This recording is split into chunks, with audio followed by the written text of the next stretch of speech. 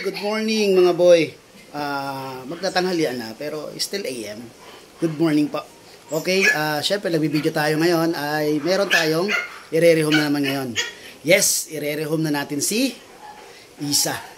Yun po, isa sa mga kasama dati nila Pinral. Ngayon, si Isa. Okay, eto si Isa. oh. Yun oh, si Isa oh. Ngayon oh, maririhom na ang Isa ko. Grabe naman ang Isa. Iiwanan ako ni Isa. Grabe naman yan. Hmm, papakabait dun ha. Papakabait ha. Huwag masyado matako pero hindi magsusuka-suka ha.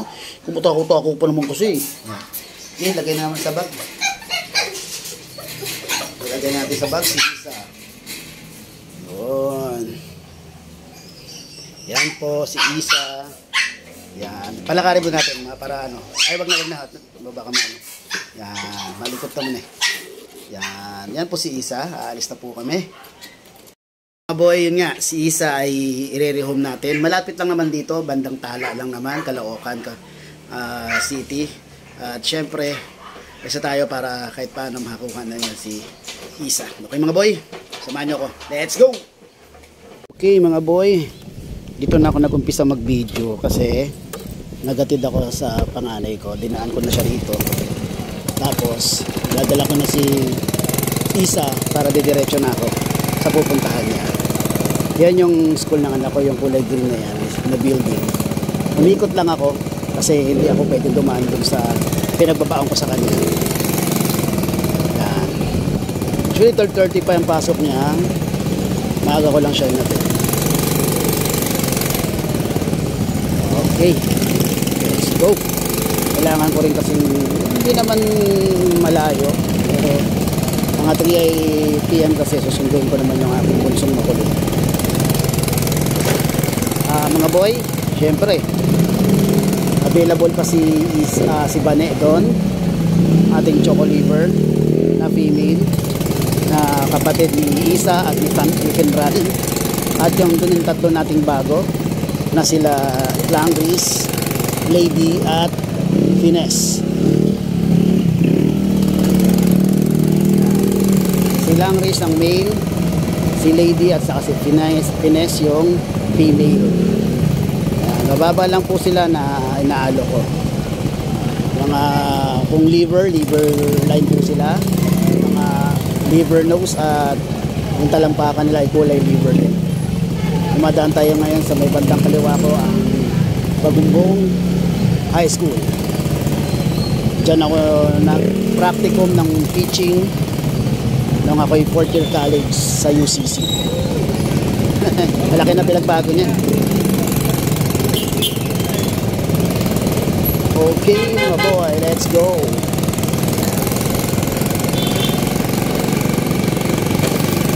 Sana hindi maano si Isa, hindi may stress. Hindi naman masyadong mainit mga boy. I mean mainit pero yung ah, tawag doon tawag doon ah, oo nga, hindi masyadong mainit. At kahit na medyo maliwanag masyado. Ewan ko sa'yo, Kuya Gilbert, yung pinagsasabi mo. okay. Shoutout pala sa kala Kuya Dante, kala Kuya James, Ate Rose, Kuya Aris, yan. Sila Kuya Pacboy at si Kuya Red Sweet.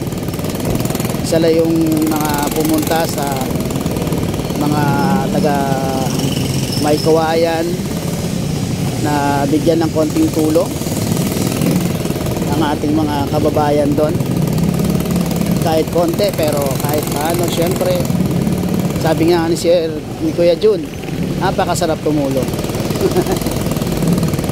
hindi na tayo nakasama doon. Syempre kasi meron tayong obligasyon kay Mrs. kailangan natin siyang ihatid sa work. Pero nakapagbigay naman tayo ng kahit paano. Kahit paano hindi gano'ng kalaki yan. Eh, yung aking lang na tamang nakakaya. Uy ayan na naramdaman ko mga boy mainit. Pero nasa likuran ko naman si hindi siya masyado maiinitan. Saka ma hindi naman tayo malayo mga boy. Maya maya nandun na tayo sa tala.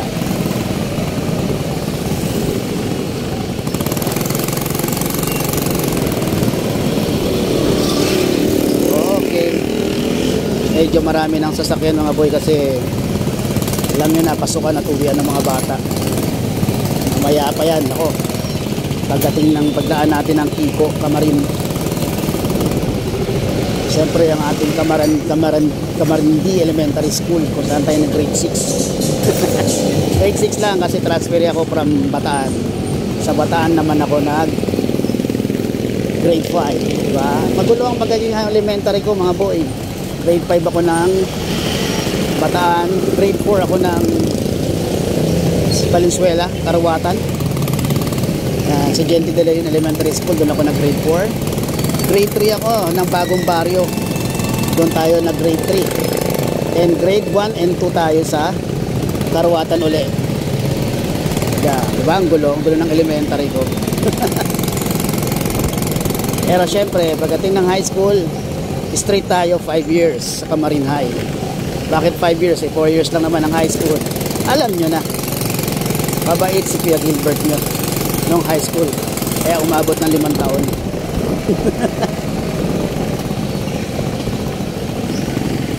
okay. Alam nyo maganda yung mga tatlong yon na available natin na for rehoming mga liver nose sila. Maliliit lang sila. Uh, run size or princess type lang sila. Pero sobrang tatatakaw. Alam mo tatlong beses ko pinapakain niya sa isang araw. Dalawang beses ko binavitamins sa loob din ng isang araw umaga at hapon pero maingay pa din pag nakatunog ng lagyanan ng pagkain. Ganun katindi mga po ayos nandito na tayo sa malapit na tayo lumpas ng Camarin Road ito ay damuhan pa dati ng panahon ko. Ngayon eh meron ng Burger King meron ng Jollibee at may tinatayo Metro Mall.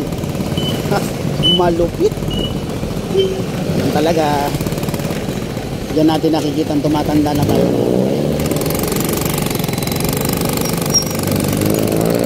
Tapat tayo ng Villa o Magdalena 2. Tuloy lang tayo hanggang sa Mar. Then sa Bote, Camarin Tipo, then P6. Bago tayo magtala. Doon tayo sa ano,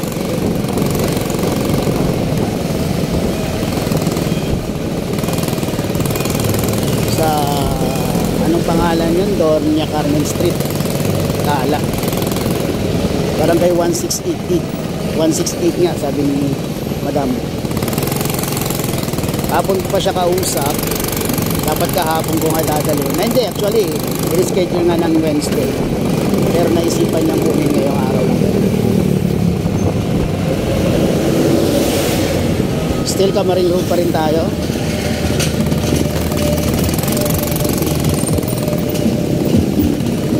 malapit tayo sa Hillbreeze subdivision. Ayan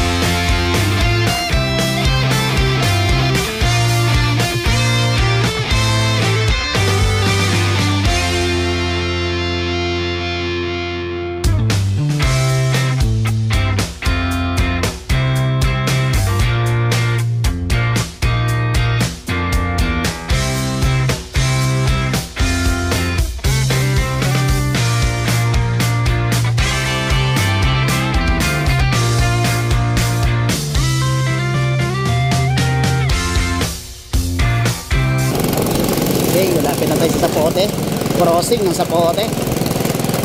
Na ang diretso ay papuntang Iko, ang kanan ay papuntang Maligaya at ang kaliwa ay papuntang Bagong Sila.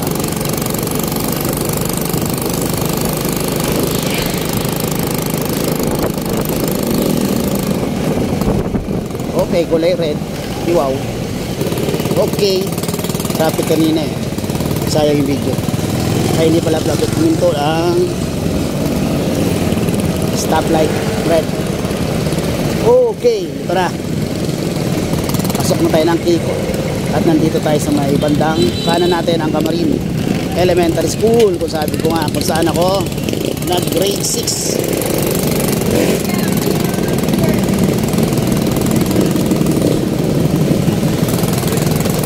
saan ako na grade 6 hindi ako nakapagturo dito. Okay nasa Kigo tayo. Natural traffic. Uwian. Mga estudyante yan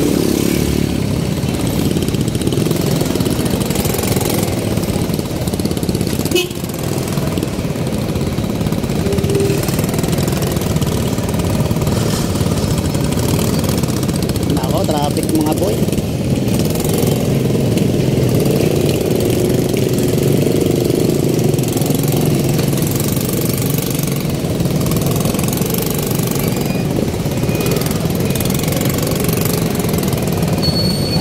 Traffic, traffic. Okay mga boy.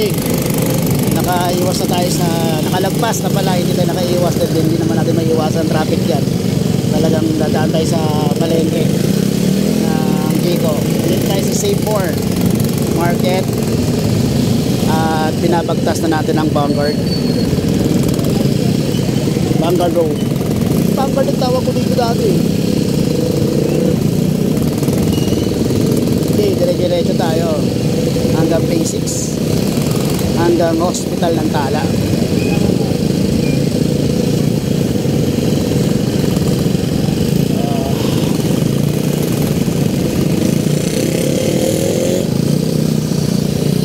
Yung nakapag-asawa ko, tumira din ako dito mga boy. Dito banda. Dalaw, nakadalawang bahay kami dito.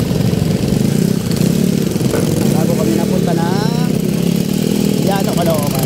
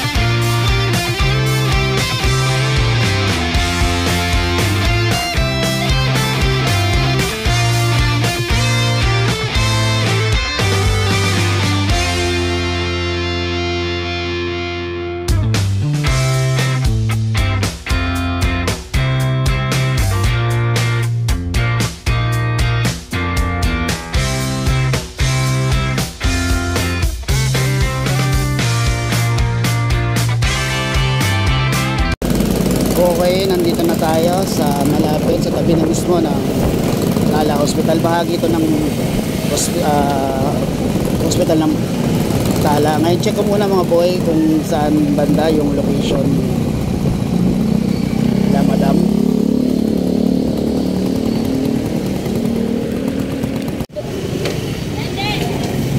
Okay. Magpas tayo mga boy. Dapat maliwa tayo doon sa may ano, kaliwa na. Ah, babalik tayo pero pa kanan na tayo. Okay.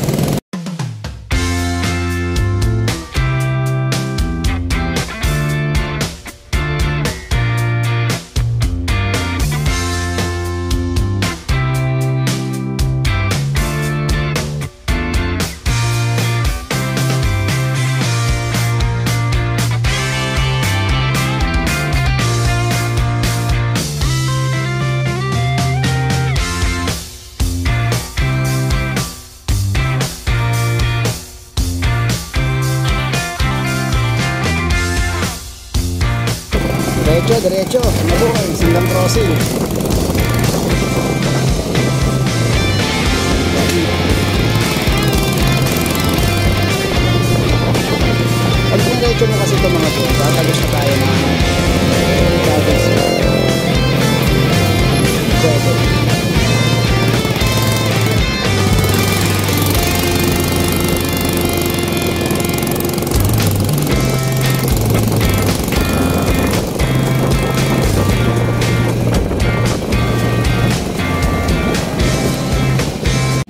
Okay, ang sabi sa akin ni Madam, pasok ako sa may tabi ng ah, kanto ng malapit sa barangay. Ito nga yun mismo. Itong kanto na to na nandito ko. Ngayon kakanan tayo.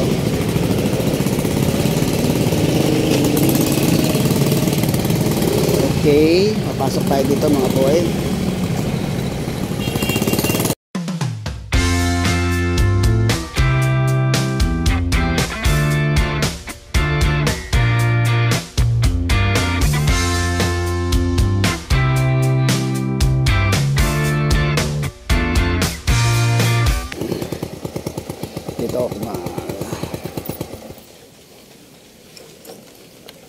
Dito sa may kawayan, sa may tulay. Chat natin si madam. Wait lang mga boya.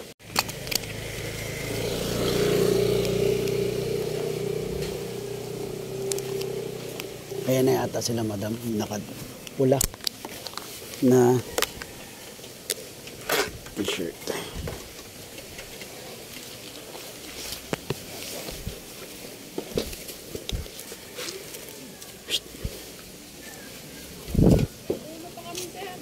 Kaya nga eh. Naalala ko yung ano pala Nakaharang. Opo. Bali, ito muna ibigay ko kasi ito na dalas makakalimutan ko eh. Bigay eh. Okay? It, anin ko muna. Ito po yung vaccine niya. Yan. Tapos, yan po yung vaccine niya. July 19. Legit po yung kanyang vaccine. Then, August 2 dapat yung kanyang ano, ah, sunod na vaccine. Pero may one week na pagitan yan. Hanggang aten. Pero nitong linggo na to, ipabaksin nyo na siya. Wag lang muna ngayong araw to kasi pagod pa Bali siya. one week, ganon. Hindi, bago mag-10. Okay, sige. Bago, bago mag-10, mabaksinan nyo siya. Then, sabihin nyo, Magkano po yung pabaksin niya? Ah, Yan sa- na rin siya, ya, ano, ilalagay. oh, dito na rin po ilalagay yan. Yung pinakamalapit na vet vaccine dito clinic, doon nyo po, paki- ipakita nyo lang po to alam nila yung gagawin nila. Tapos, okay, then, ito yung resibo na katibayan, ako yung nagpabaksin. Apo. deworming niya. Yan. Ito po. Tapos yung dog, ito po si Isa. Isa, Isa, ikaw na. Ah, nagwiwig na yung kanyang buntot. Huwag mo nang panggigilan masyado ha. Yan, ang taba niya. ah, pakihawak po, picture muna po tayo.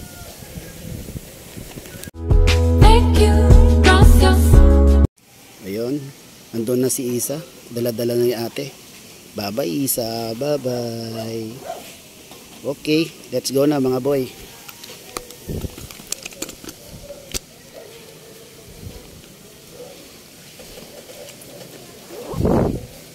Ah.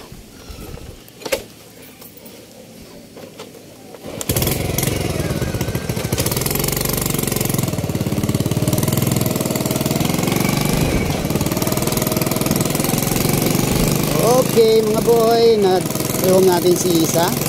Si Balina lang po ang available doon. Baka naman po, baka naman po, baka naman po. Na-rehome na po yung dalawa niyang kapatid, si Pinral na napunta ng ah, Brixton. Brixton, Amarin.